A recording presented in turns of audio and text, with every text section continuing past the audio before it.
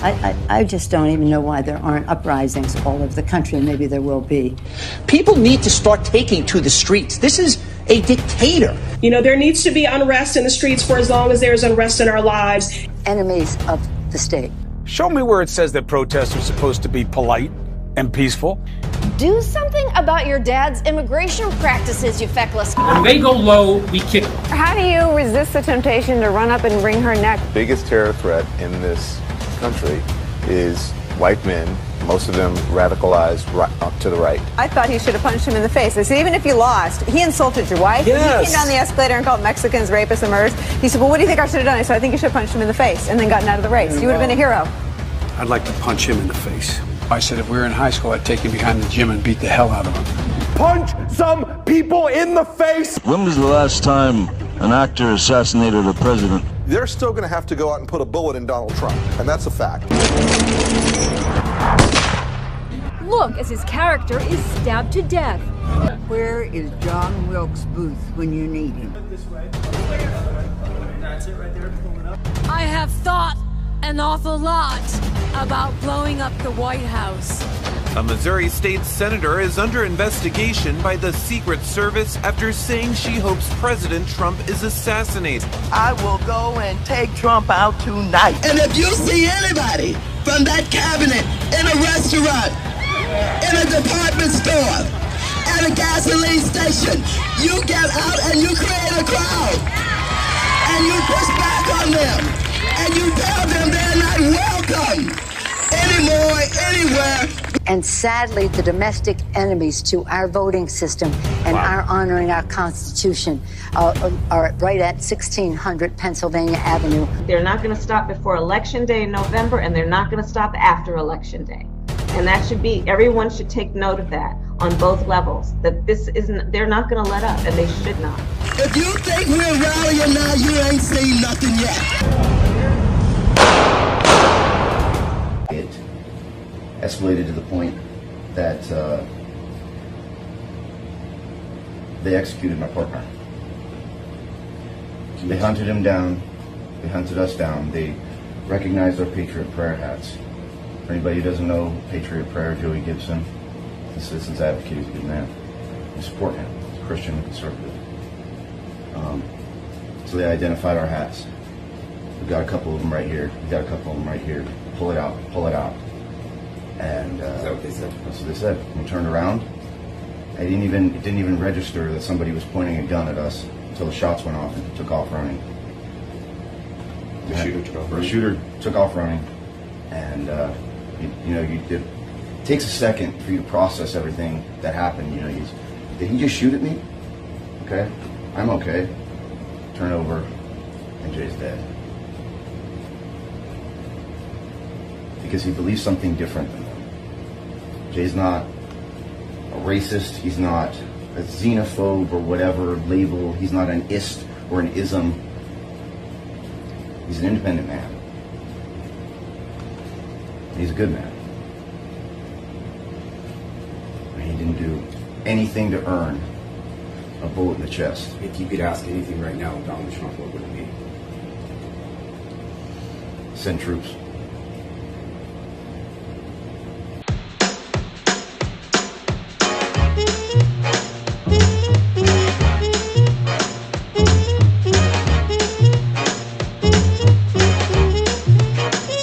John Doyle in. Heck Off, ladies and gentlemen. Welcome to Heck Off Commie. Take a second to follow me on Twitter and Instagram. That's usually where my best day to day takes are. But, anyways, as we all know by this point, uh, the other night in Portland, Oregon, a Trump supporter was targeted and executed by a member of Antifa in cold blood. And so, what you saw there in the beginning was a series of clips that provide some context and a timeline for how we got to where we are now. And then also an interview with the friend of the man who was there uh, when he was killed. And that man's name was Aaron Danielson, also known as Jay. But to Joe Biden, he's just the Trump guy, right? And that's all that he'll ever be to the left. Uh, you know, maybe the more honest ones will label him as a fascist and, and then celebrate his murder. So just remember, when a death is politically convenient to the left, we have to say their name, we have to uh, protest in mass, we have to enact change now. But when it isn't, then it just doesn't matter. He's just the Trump guy, and they'll use their media to claim that the Antifa murderer was just acting in self defense or even to prop up and humanize him so he can spread what was effectively his suicide note and manifesto to the world. So we're going to talk about what happened. We're going to break down uh, the interview that the murderer did with Vice Media, and then we're going to talk about what all this means for us. And I can tell you, it's not good, but it's nothing that we didn't expect. So basically, last Saturday, a bunch of Trump supporters planned to drive their trucks and wave their American flags and their Trump flags in Portland. And of course, that did not sit well with the Antifa and Black Lives Matter rioters. And so this culminated with Aaron Danielson being shot and killed in cold blood by one of these Antifa people, whose name I won't use because his goal was to become a martyr, uh, which is what led him to get himself killed last night in a shootout with police. But we'll get to that in a second. First, I want to show you a video that was captured of the shooting, and I'll put arrows and subtitles on it, and then I'll show you another version that has been stabilized and zoomed in. So You'll see this Antifa guy approach the Trump guy. Uh, the Trump guy appears to try to like pepper spray him or something, and then he gets shot point blank in the chest, and then he dies while the murderer runs away. So take a look.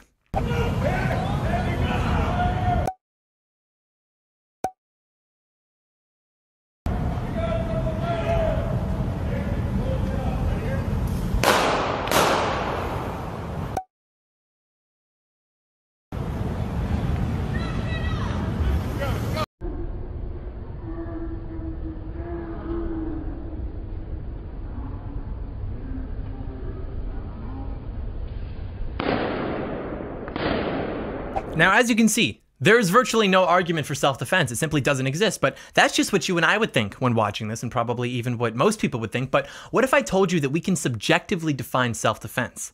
This is where it starts to get scary, and we're going to get in deeper with that in a second. But remember how the media treated Kyle Rittenhouse for shooting people that were trying to beat him to death and take his rifle from him? Remember how they labeled him a gunman? Remember how they called him a white supremacist terrorist? Now, Compare that to this. Compare that to the media just calling this guy a suspect in a fatal shooting. Compare Facebook banning all support for Kyle Rittenhouse to Vice Media putting this guy on for an interview to platform and humanize him and allow him to spread his message. The guy who killed a Trump supporter is giving interviews to Vice Media five days after the murder takes place, all while Kyle Rittenhouse was immediately put in jail and charged with first degree murder.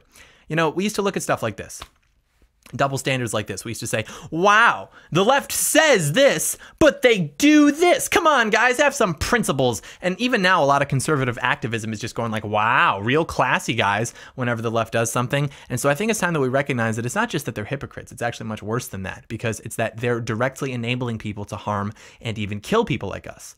They want you dead. It's not hyperbole. That's a fact.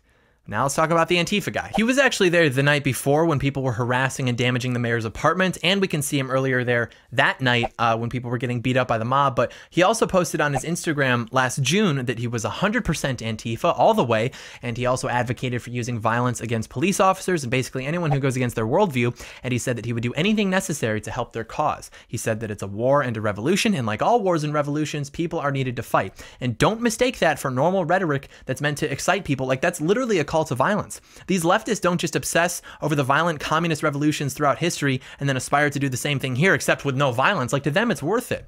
And in a revolution, there is no time for the marketplace of ideas or civil discussions. They just prefer to kill you. It'd be easier. And he alludes to this in the interview with Vice Media. He uses a lot of coded language, and it's actually very chilling. So we'll go through that now and break it down. I had no choice. I mean, I, I, I, had a choice. I could have sat there and watched them kill a friend of mine of color. But I wasn't going to do that. You know, that, that was the straw that broke the camel's back. Notice that he has the Black Lives Matter fist tattooed on his neck. That's a symbol that dates back to as early as 1914 when it was described as a symbol of social revolution and it was adopted by the German Communist Party in 1924. And we all think of that as a symbol for black power, which it is, but we also have to remember that those movements throughout the 20th century were also heavily driven by Marxists. And so, more broadly speaking, it's just a symbol of communist revolution, which even makes sense today since Black Lives Matter is run by Marxists. Also, when he says that he had no choice and that his friend of color was going to die, what do you think he means by that? He says things like that throughout the interview. And so, you know, we might as well just assume that he's lying. But the scary thing is that he's not actually lying. He's just setting a new standard within the context of violence and self defense for truth as subjective. And this is dangerous. And you might think, well, what's the difference between lying and saying something that isn't true? And that's a good question. So, you know, just just watch as he keeps going. My name is Michael Forrest Reinoehl, born and raised Portland, Oregon, 48 years old. You know, lots of lawyers suggest that I shouldn't even be saying anything, but I feel it's important that the world at least gets a little bit of what's really going on because there's been a lot of propaganda put out there. Um, what I will say is that I felt that my life and other people around me's lives were in danger. And I felt like I had no choice but to do what I did.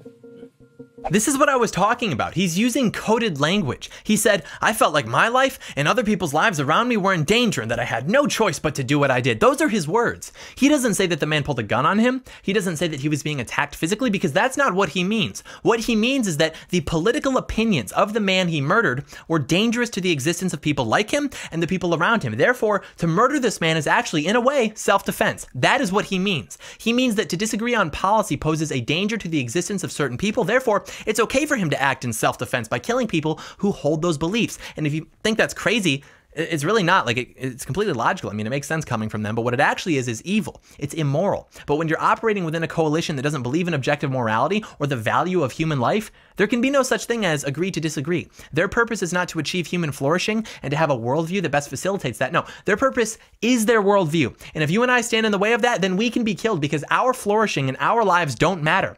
And he gets more into this as the interview continues. I used to really love this country and I respected the flag and everything that it represented. But because of all this, every time I see a big truck, especially with the flag on it, I immediately think that they're out to get me. He says out to get me like that to establish the context and justification for self defense, as if Trump supporters are pulling people out of their cars and beating them within an inch of their lives, kind of like what his people are doing, instead of just driving around waving Trump flags trying to get a reaction and be loud. It was a free for all, and the police were letting it happen.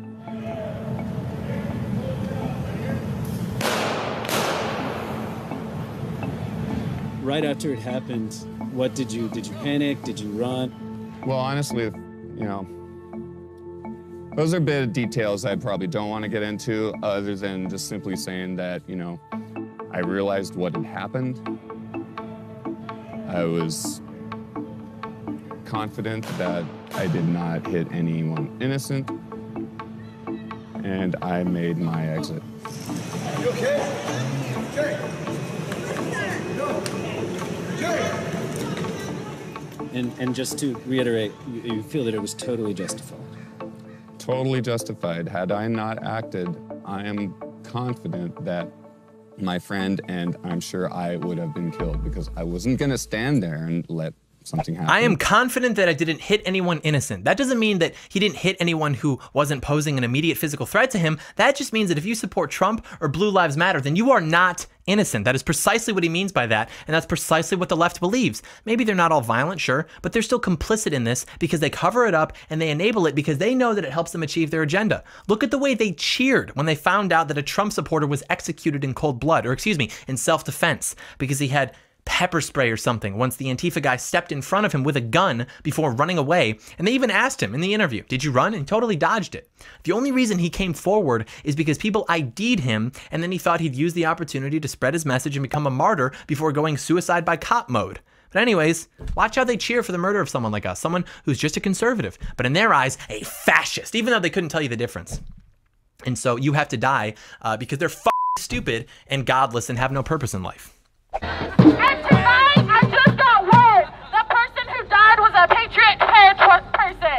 He was a fucking Nazi. Our community held its own and took out the trash.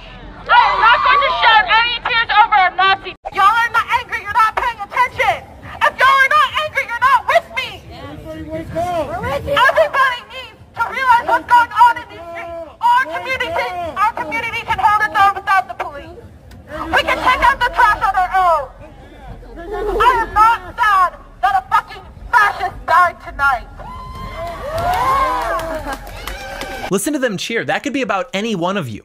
And I tweeted this out not too long ago, which is why you should go follow me on Twitter. But I said that being on the right means you'll invariably be called racist. But if you dare to also be socially conservative, you'll be a fascist too. This implies that their biggest critique of fascism is that they probably wouldn't be allowed to be so gay.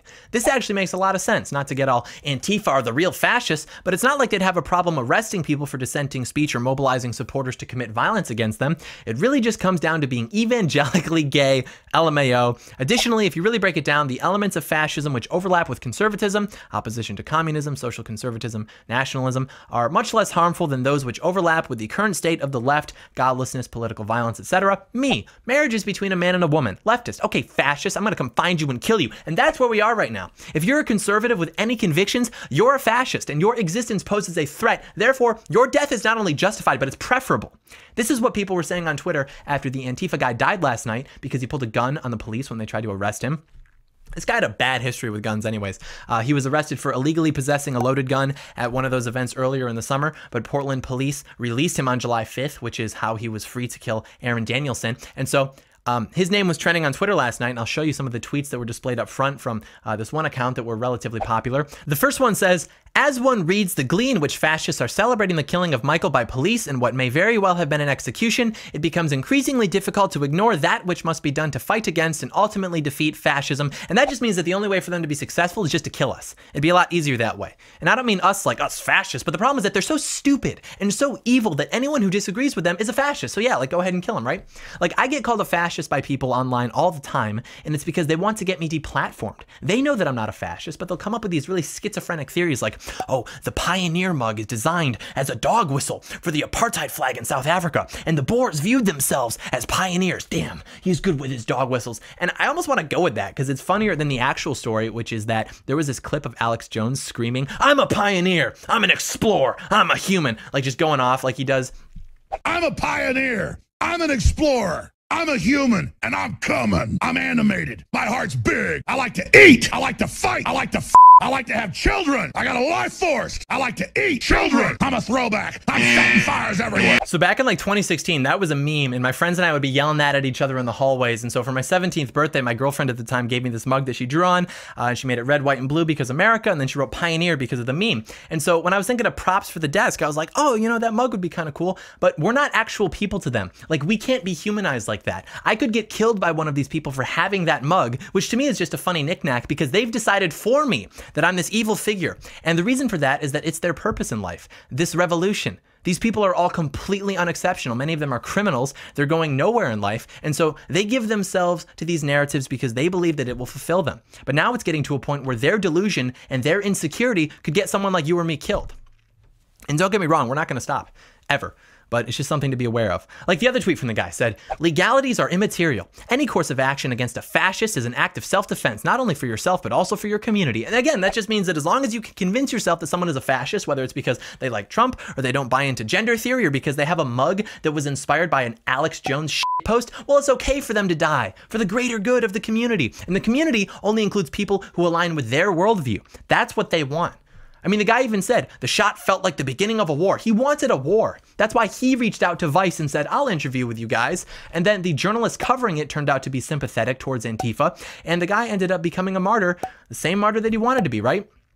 He did that interview to spread his message, and he killed the Trump supporter and got himself killed because he wanted to inspire more violence against people like you and me, just regular Americans, people who work hard, people who love their country, and who happen to like Donald Trump.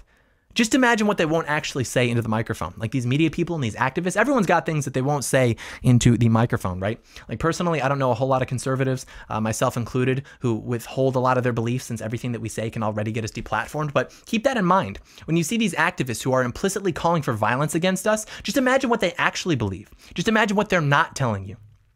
Do you think that any of them would really be against mass violence against you? The opposition? Like in the revolutions from the past, which they celebrate? Of course not.